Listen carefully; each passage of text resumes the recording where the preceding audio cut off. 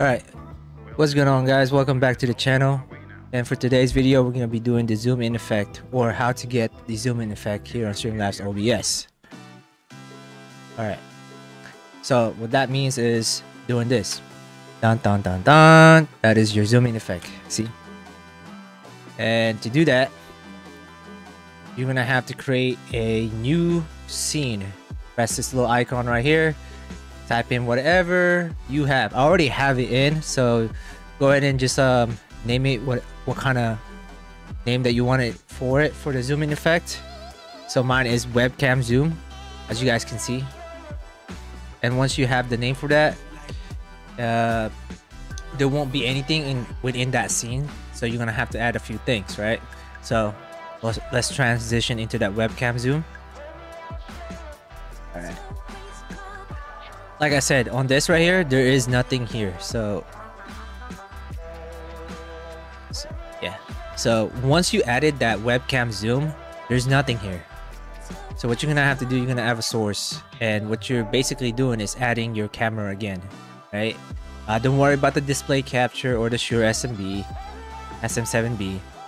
Uh, I needed that so I can just show this for the purpose of this tutorial. Um, once you've done that, right? It's it's gonna look like this. It's gonna uh, it's gonna fit the screen. Once it's once you've done that right you added your um your sources. You're gonna go add uh video capture device. God that took a while to find. And you're simply just gonna add your primary webcam. And once you found your primary webcam here go ahead and add that. And it's gonna look like this fit the screen. It's just gonna be just like that. You just add your camera.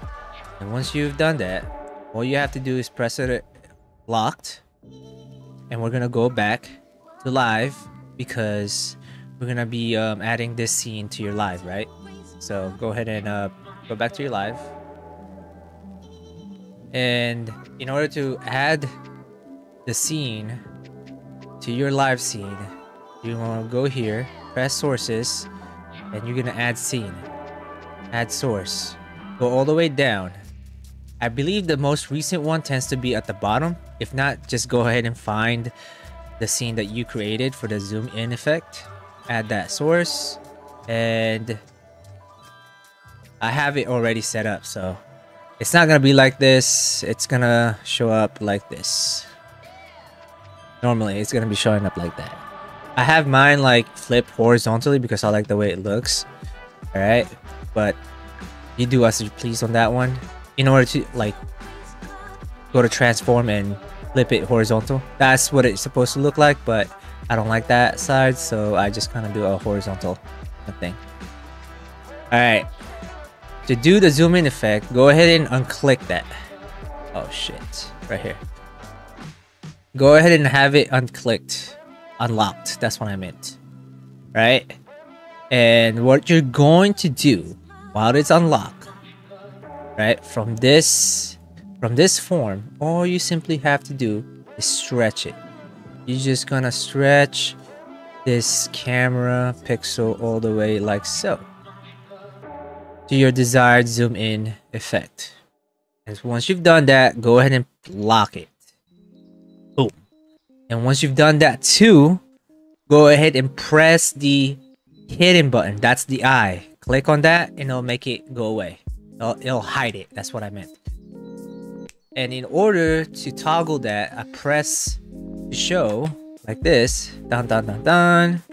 We simply just go to the gear icon right here. Go to hotkeys.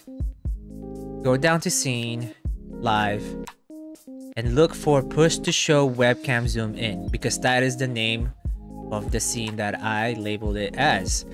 Uh, so go ahead and look for that and pick any keyboard that you wanted to designate it as your push to toggle. You have to push to show, you basically have to hold it, alright? So once you've done that, press done and boom, you have your zoom in effect. It is that quite easy. I hope you get this and it helps you out. So don't forget to like and subscribe. Thank you.